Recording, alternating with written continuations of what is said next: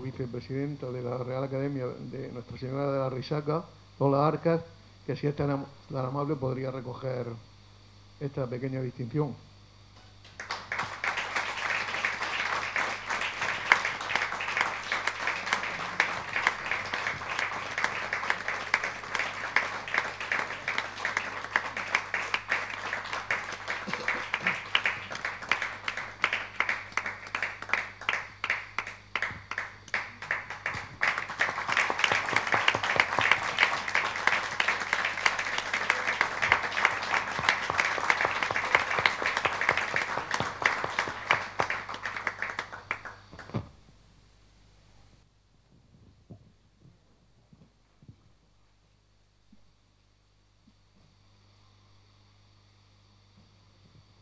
A continuación, y por vía online, Pedro Francisco Rubio Olivares.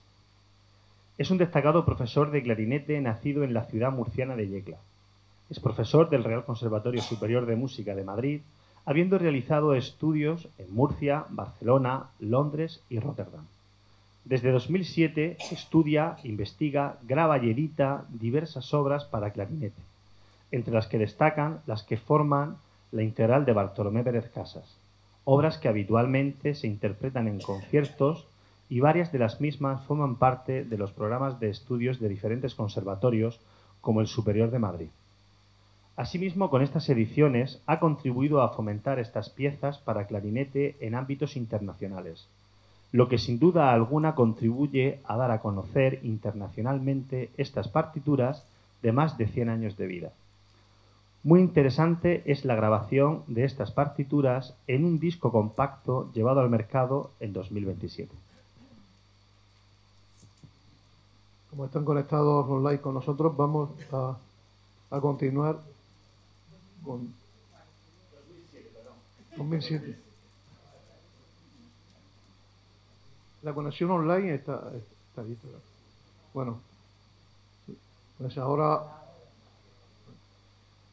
don Pedro y don Antonio. Bueno, eh, Antonio Narejos Bernabeu.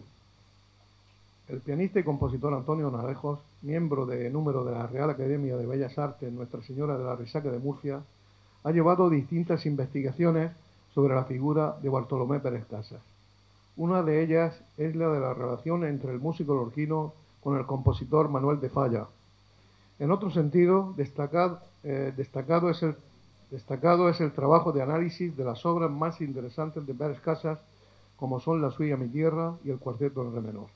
A destacar, como no, sus interpretaciones al piano en el citado cuarteto, conciertos que se llevarían a cabo en Lorca, Murcia y Madrid con el cuarteto Almus, precisamente en la sala de conciertos de la Real Academia de San Fernando en Madrid.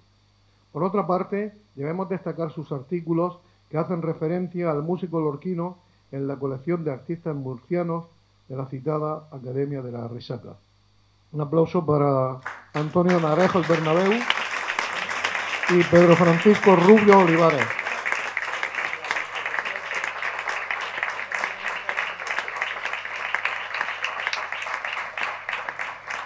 ¿Es posible que participen? Bueno, si quieres, como me has nombrado primero, pues hablaré yo antes que Antonio, si me permites.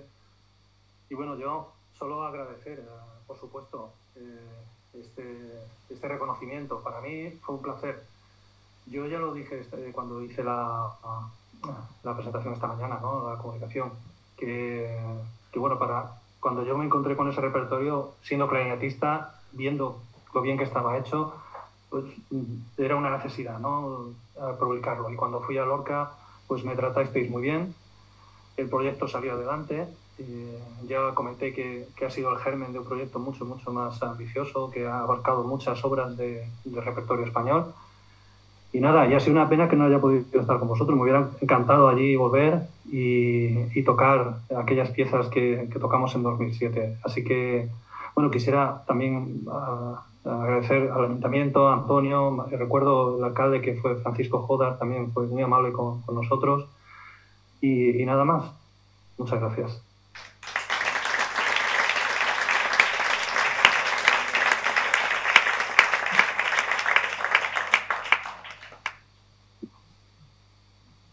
brevemente agradecer al Ayuntamiento de Lorca eh, que hayan contado conmigo este evento de tanta trascendencia, como no a Antonio Manzanera, el director eh, del Congreso, que eh, ha hecho posible pues una especie de milagro.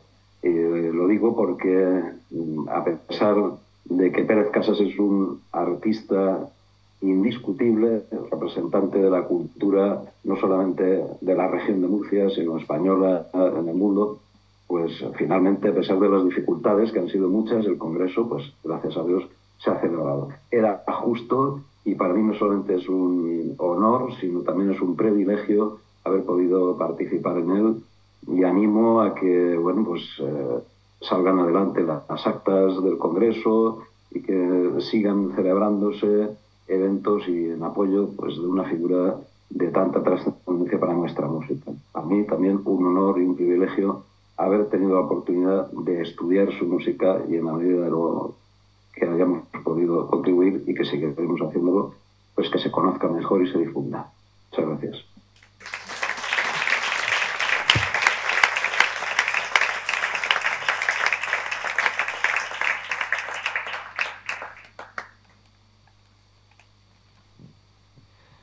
A continuación, tengo el honor y es un sincero honor porque en el paseo de esta mañana he aprendido mucho con esta señora. Voy a presentar a María Dolores Cuadrados Cabarro.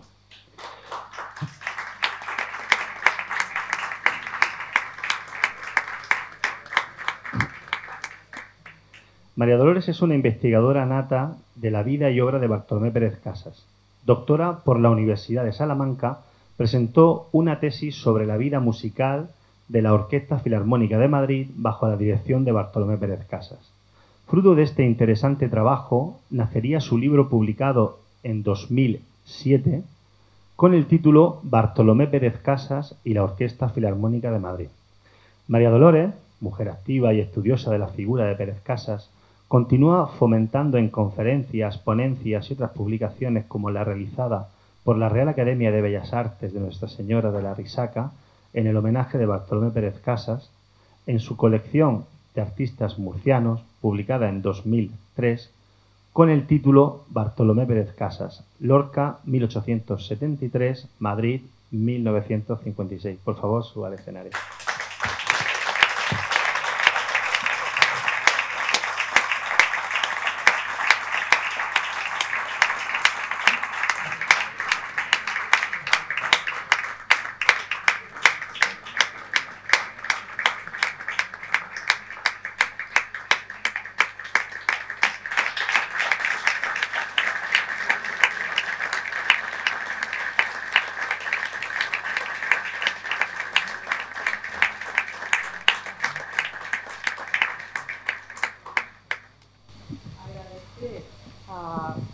Al ayuntamiento y a todos los que nos han acompañado en estos, en estos días, porque mm, a mí me ha gustado mucho difundir siempre desde que estoy estudiando la figura de Pérez Casas y en esta ocasión también he estado muy honrada y seguiré haciéndolo. Así que muchísimas gracias.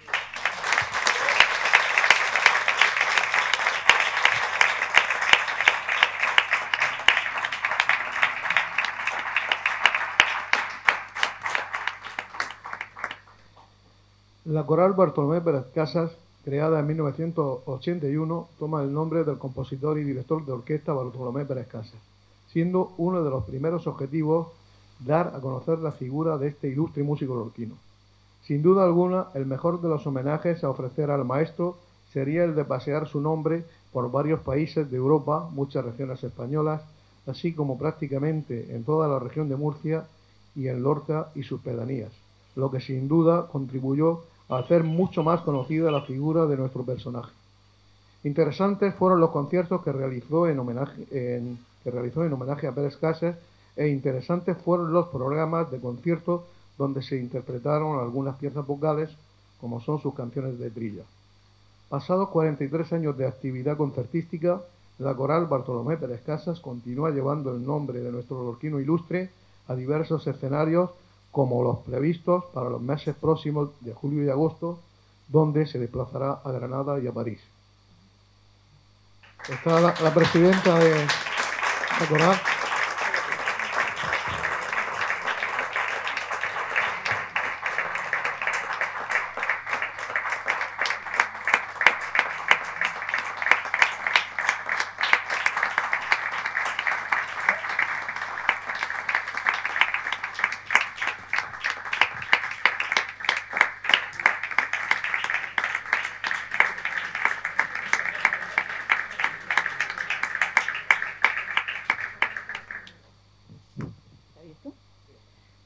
Quería dar las gracias al Ayuntamiento y a nuestro director Antonio Manzanera López en nombre de, todo, de toda la coral Bartolomé Pérez Casa. Muchísimas gracias por este reconocimiento. Estamos encantados de llevar el nombre de nuestro, de nuestro músico lorquino, Bartolomé Pérez Casa, y vamos, y esperamos seguir llevándolo 40 años más, ¿no? en fin, muchísimas gracias.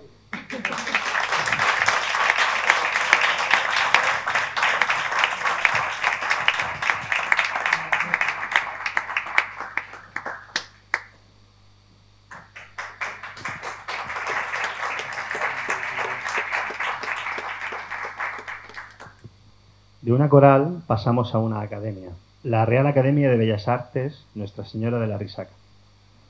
De la mano de sus dos últimos directores, Antonio Salas Ortiz y Martín Páez Burriezo, la actividad en apoyo de la cultura murciana ha redundado en el ferviente apoyo a los músicos de nuestra región.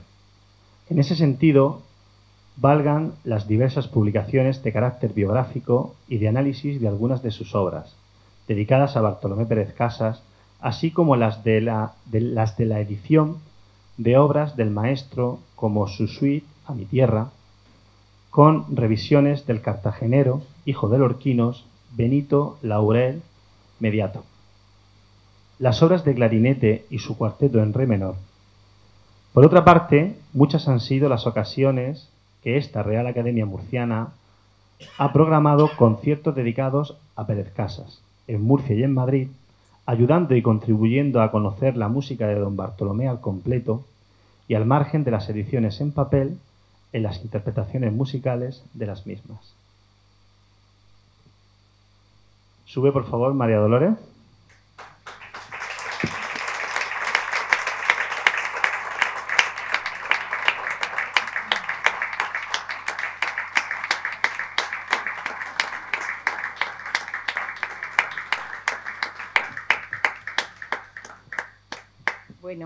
Buenas tardes. Pues muchísimas gracias al Congreso, al Ayuntamiento, a su concejalía, a todos los responsables de esta iniciativa tan loable, tan justa, tan necesaria.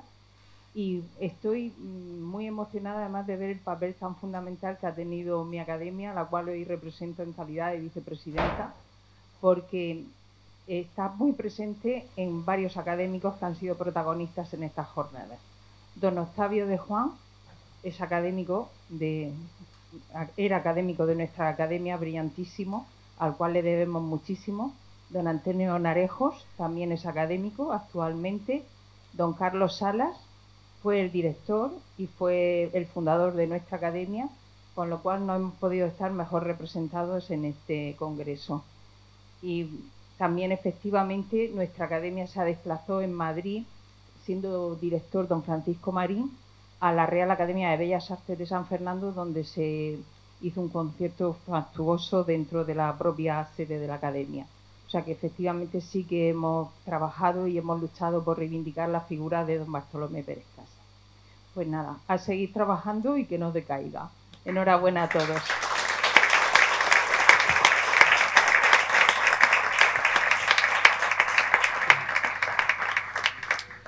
Aunque no hay nadie presente de la Real Academia de Bellas Artes de San Fernando, pues podemos eh, leer el párrafo que teníamos dedicado a ellos, si les parece.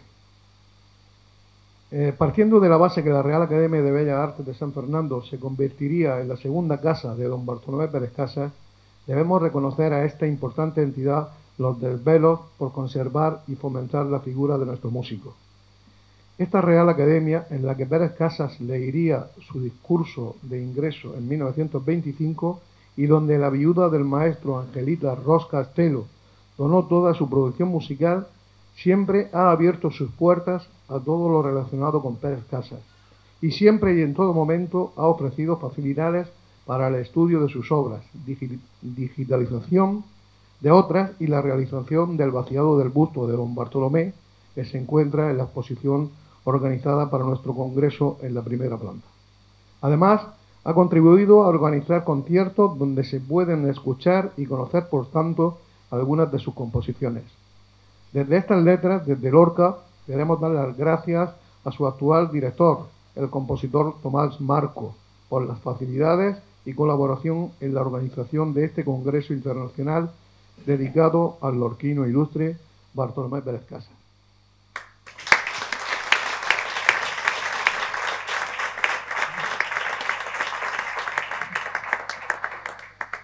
Y continuamos con la tercera parte y último acto ya del concierto del cuarteto Sarabasti, que va a interpretar obras de Benito Lauret y también el cuarteto del maestro Bartolomé Pérez Casas.